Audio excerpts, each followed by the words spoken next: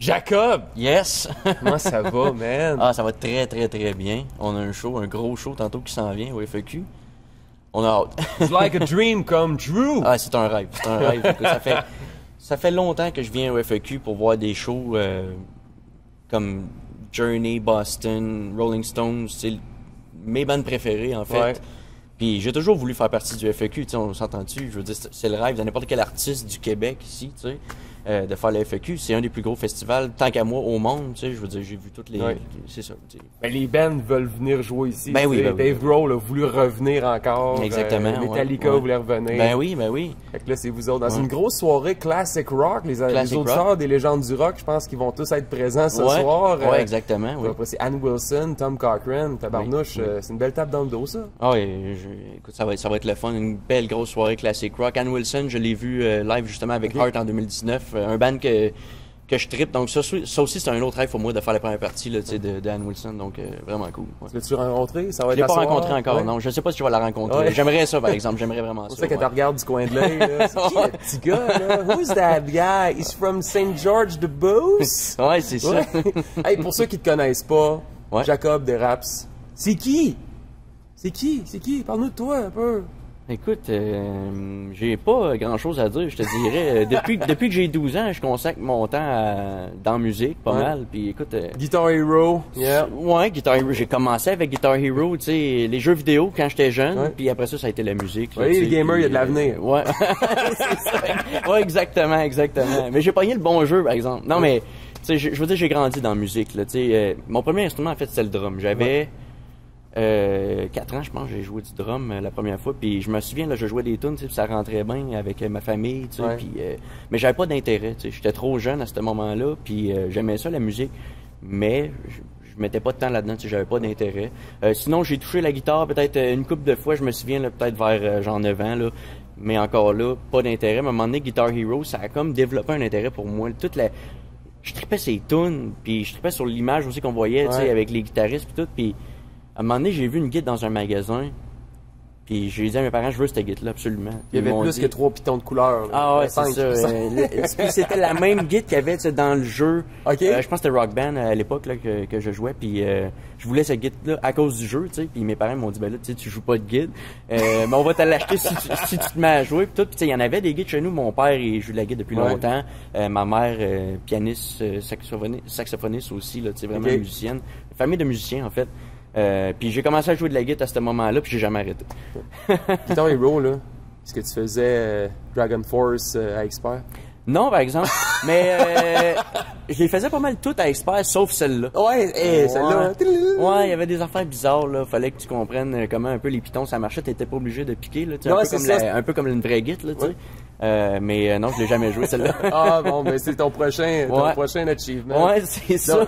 Hey, et puis euh, quelle, quelle histoire dans les dernières années? Puis là, vous partez en tournée, là, je pense. On est en euh, tournée en ce moment. En ouais, tournée, ça. On a vous allez commencé en euh, Europe aux États-Unis? euh, en Europe à la fin de l'été. Les États-Unis, C'est pas encore confirmé, mais on est en train de travailler là-dessus.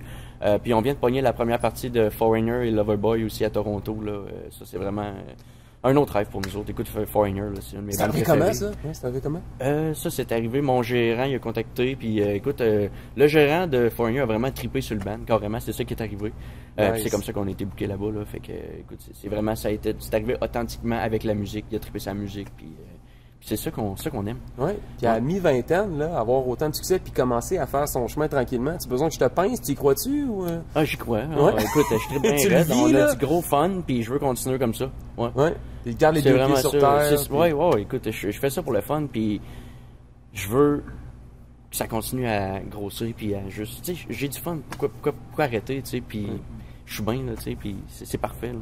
Donc plus tard, mettons, est-ce que tu tu es capable de faire une projection sur Jacob dans 10, 15, 20 ans ou t'as mieux profité du moment présent en disant c'est peut-être éphémère? C'est sûr qu'avec un, un gars talentueux comme toi, c'est sûr et certain que tu as un brillant avenir, mais est-ce que tu gardes, est-ce que tu profites du moment présent ou tu commences à penser, est-ce avoir Ben, des plans, des, des, des, des rêves, euh, une Ah, liste de tâches, euh, Ah, d'accomplissements? ouais? En fait, euh, oui, dans, dans ma tête à moi, c'est, c'est tout est pas mal, euh, tu sais, j'y crois, puis je sais où ce que je m'en vais. Ouais.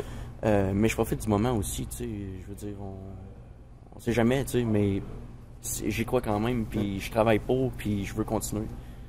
Ça ressemble à quoi ta C'est de l'acharnement aussi Ouais. beaucoup. Tu sais, je juste dans les dernières années, je veux dire, qu'est-ce qu'on a fait? Euh, les gens le savent pas, là, mais ça a tellement pris d'acharnement, juste faire l'album, tu sais, puis la, la carrière qu'on a bâtie, tu sais, c'est pas une grosse carrière en ce moment, tu sais, on commence, Ouais. là, tu sais, puis tout, mais c'est tellement, c'est tellement de travail, là, c'est tellement de travail, l'album, c'est moi puis Josh, on l'a fait, moi puis mon drummer, on a tout fait ensemble, la production, la création des chansons, on a tout fait avec les moyens du bord, on n'avait pas de, tu sais, la compagnie 10 est arrivée par après, tu sais, Ouais. euh, c'est c'est de la job là mais vraiment. Puis en plus la pandémie est arrivée dans ce temps-là juste avant qu'on le sorte là tu sais c'est c'était compliqué. Mais euh, c'est de l'acharnement. Quand t'aimes ce que tu fais tu sais je veux dire je voulais pas arrêter. Mm. puis c'est ça Un spectacle comme ce soir, est-ce que tu penses que ça peut être un game changer, un life changer, ça peut être Absolument. un step-up? Tu sais, je parlais avec Thor, qui est la première partie d'Imagine Dragons. L'année passée, il était avant Luke Combs. Il dit Ma vie, moi, a changé en 90 minutes. 30 Ouais. minutes écrire Runaway to Mars, puis une heure sur les plaines d'Abraham. Puis après ça, ça a décollé, mais c'est tellement d'années de travail, d'heures sans Ouais. regarder. Puis après ça, le Festival d'été de Québec qui a joué un rôle important dans sa carrière. Peut-être que ce soir, ouais. ça peut être quelque chose qui. absolument euh, absolument ouais. c'est des années de travail pour justement ce moment-là tu sais puis tous les moments qu'on est capable de, de- de profiter comme les, les spectacles tous les spectacles qu'on fait c'est c'est donner tout ce qu'on a pour la crowd d'aller chercher plus de fans donc c'est une grosse opportunité pour nous à ce soir là faut pas la rater tu sais c'est une grosse opportunité puis on est prêt là Puis moi, je vais continuer de t'envoyer du Van Halen dans les légendes du rock C'est la fin de qu'il faut. semaine. Yes, yes, merci. Early Van Halen avec David Lee Roth. Tout le temps.